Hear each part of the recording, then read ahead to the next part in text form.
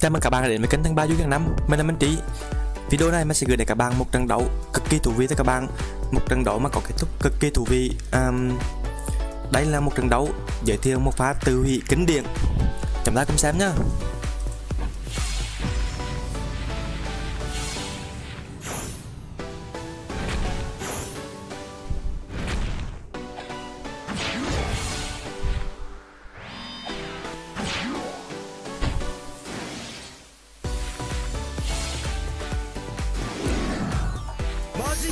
死者蘇生を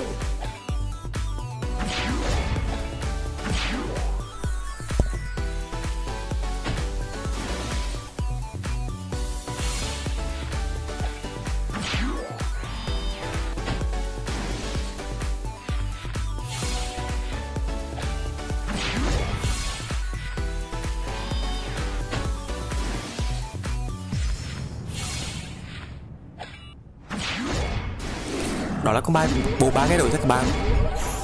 Khi trên sân đối phương là có ba slot gọi quân, thì sử dụng con bài bộ ba cái đối nó sẽ tạo ra ba con bài, gọi là token đó. Vệ tinh. Nhân vật Benny cao sử dụng những lá bài rất đặc biệt. Con bài vệ tinh anh nhận lại ba cái rối. Bài chạy sống chạy các bạn. Đó là một con bay rất lợi hại để có thể phá đi những lá bay. Sau mỗi sau mỗi lượt thì nó sẽ tự thu hồi lại.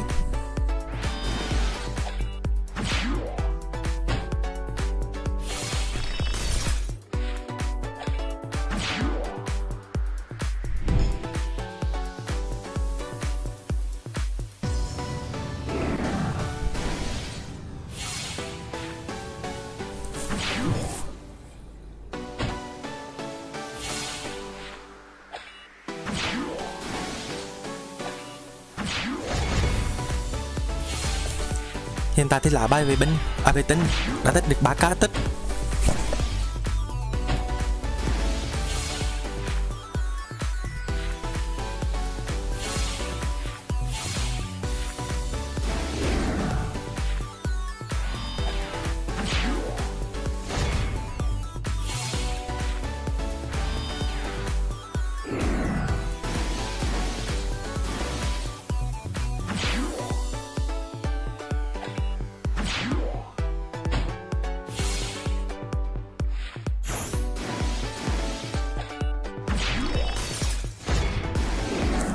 Đó là con bài kỳ sĩ gáy độ cho các bạn.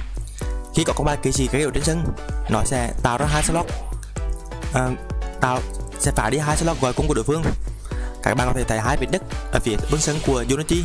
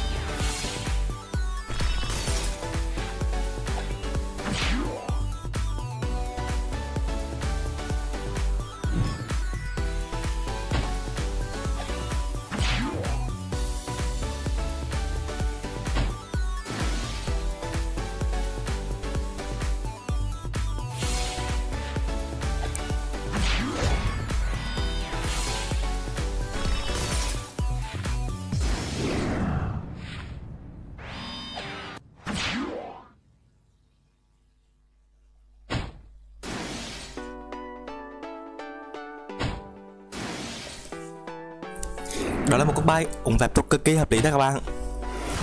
Như vậy là Bendiga vừa tự hủy đi 8.000 LP của mình. Một cái kết cực kỳ ờ, thú vị và bất ngờ thôi các bạn. À, nếu như các bạn thấy video này thú vị thì hãy share và subscribe để ủng hộ mình nhé cảm ơn các bạn rất nhiều.